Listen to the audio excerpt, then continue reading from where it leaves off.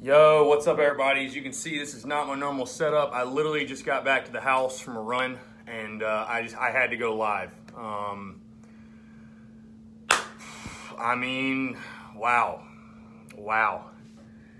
Not first off, I want to first thing I want to clarify. Not what we wanted, not the way we wanted it to happen. Wish Jake Bentley nothing but the best. Um, you know, definitely uh, appreciate Jake Bentley for what he's done. Um, you know, obviously, there's a lot of truth to the fact that the 2016 season would have been a complete loss without him. Um, but yeah, according to Mike Uva, others, Ryan Hilinski informed that, or been informed from the coaching staff, he's going to start this weekend against Charleston Southern. And moving forward, source says that Bentley is expected to be out at least six weeks with a broken foot, could be longer. And to be honest with you guys, if he's out, if he's out six weeks and Ryan plays well, I mean, even if he got better, I don't think there's any way he'd come back. So again, not my normal setup. Literally just got back to the house from a run, but I had to come live really quickly because this is crazy news. Uh, was was was kind of debating back and forth on the Daily Crow stuff uh, today because I didn't really know what else to say because there's been so much said. But this is a bombshell. Yeah, I mean it's I. I hate to joke about it, but the Twitch stream was right. Um, I can't believe it. Um, but what does it mean for the season, right? I mean, you look at the schedule. Charleston Southern upcoming. You've got Bama, Mizzou, Kentucky, Georgia, Florida, Tennessee. Go down the list. I mean, the time's here. I mean, the time is here. You know, I mean, it's it's unfortunate. It's you know, again, this is not the way you want to wish things to happen. Um, not the way you want to wish things to happen on someone, on a kid, because Jake Bentley has given everything he's got to this program. But things, as we saw Saturday, just have not worked out the way we all hoped and thought they would. Which have not worked out the way we all hoped and thought they would. Um, and it's unfortunate, again. But, uh, you know, I, I, well, obviously we're going to learn a lot more tomorrow at Will Muschamp's presser. Um, but this is this is crazy news. This is crazy news. I mean, you know, uh, we talked about the the you know the Bentley the Bentley era was over, and there needed to be a change either way. And again, this is not the way you want it to happen. You don't want it to happen this way. You don't wish a kid to get hurt. I mean, he's still a college kid at the end of the day. You don't wish him to get hurt, have his senior year taken away from him. But what I can tell you, how does this change the dynamic personally for Jake Bentley and for Ryan Hilinski and for South Carolina and everything else?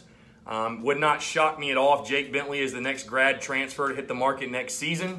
Um, if Ryan Hilinski, which I expect, you know, again, we have no clue how he's going to play. I don't know how he's going to play. I'm not going to sit here and tell you that South Carolina is about to win 11 straight games or is even going to make a bowl. I mean, I, I, think at this point, I think at this point with Ryan Hilinski, if the Gamecocks got to six and six, I think it'd be viewed as a huge success. Obviously, with a true freshman quarterback, um, he's still a true freshman you know, but there had to be a change. There had to be a changing of the guard. We, we all said that. We knew that. I don't think this is something that's shocking to anyone that there needed to be a changing of the guard. Um, and it's here. I mean, again, you guys are joking. It is, it's, it's, it's wild to think how accurate the Twitch stream was, though. Besides the fact we lost UNC, obviously. But, uh, no, I mean, the Ryan Hilinski era starts. The Ryan Hilinski era starts in, in, in Columbia on Saturday. I, I think, uh, you know, I'd like to see, you know, as you mentioned, I'd like to see Joyner get worked in. You know, why not? You know, what do you have to lose right now at this point? I'd like to see Dakereon Joyner get worked in as well. Um, but, you know, I don't really, I'll be honest with you guys. I mean, this is, I'm in shock, honestly. I'm, I'm, I'm a little bit in shock. I, I am in shock because I didn't see the injury on Saturday. Um, I don't think anybody did. So this was very surprising for me to hear. You know, I, you know, this, I hate to say it, could be maybe the best thing to happen to Will Muschamp's career at South Carolina because I talked about on the podcast and would say right now, to get this fan base back on your corner even a little bit, you had to make a switch at quarterback. And yeah, broken foot is what they're saying. Six weeks, six to eight weeks. I mean, who knows? Basically, the entire season. Hell, there's only 12 weeks left.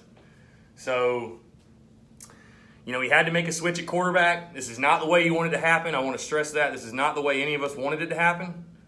But, I mean, it's your time, Ryan. It's your time, Ryan Hilinski. So, you know, as far as the 2019 season outlook, though, I, I don't really know that this puts a better outlook on it.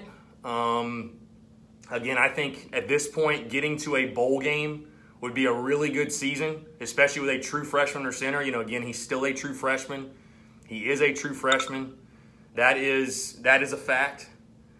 Um, I'm again, I'm very intrigued to hear what Will Muschamp has to say tomorrow. But yeah, I mean, I'm in shock, man. I can't believe this. I can't believe it. Um, you know, you expect South Carolina to beat CSU Saturday, no questions asked, no matter who's at quarterback. Uh, and you're sitting there at one and one, and you have Bama come to town. So, you know, it's uh, it's just wild. I mean, this is crazy. This is crazy. I mean, again, it's it's crazy. I mean, we again, this is not the way you know. I keep stressing this is not the way you wanted it to happen necessarily, but you wanted to see a change at quarterback. You wanted to see a change at quarterback, and we're getting it. So uh, I think uh, it's something that you know. It's isn't it crazy? College football is such a week to week game. We spend all off season. We spend all off season making all these predictions and things we think are going to happen and things like.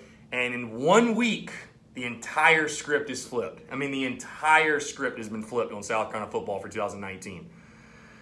So, you know, again, for me, the 2019 season, listen, I think Ryan Hilinski's obviously a kid. I mean, look what Sam Howell did against South Carolina. I think there's promise there. I think Ryan Hilinski can have a very good 2019 season. I think he can be the guy for South Carolina. Um, I'd like to see Dakereon Joyner get snaps as well. You know, I would like to see that because we really still don't know what he can do. Even though Ryan did beat him out, we don't know what he can do.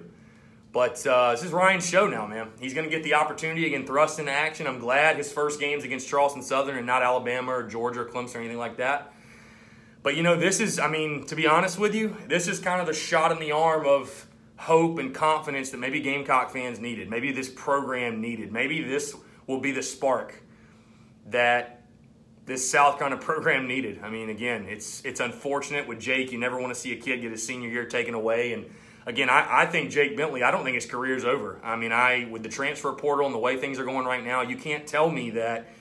I mean, it'd be silly for him to not Jake Bentley to explore the uh, the grad transfer market next year, which would be crazy. It would be crazy, but this is crazy too. So, I mean, I'm feel bad for Jake Bentley. Um, really, really, really, really excited to see what Ryan Hilinski can do under center. To see if it can provide a spark, if it can provide a jolt for this offense, for this team, even. Um, and want to see what happens going from here. So appreciate you guys tuning in again. Sorry the crazy setup. I was just like, I got to come live right now, man. This is this is this is immediate stuff. So um, so yeah, we'll see. Number three, the uh, the Ryan Hilinski era has officially begun. So appreciate you guys tuning in. Talk soon. Thanks.